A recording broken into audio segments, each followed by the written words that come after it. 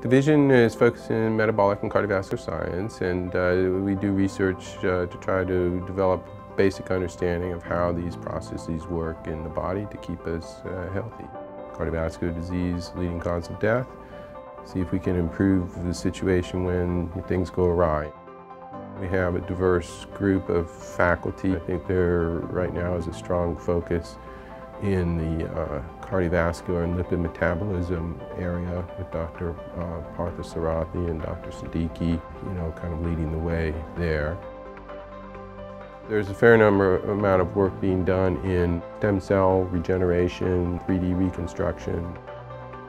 Over here we are doing stem cells and cardiac regeneration as well as uh, now we are working on to 3D disease model printing and 3D bioprinting. Things have already gone by so quickly. We're already achieving, you know, so many steps. I see us producing these very complex tissues within the next few years.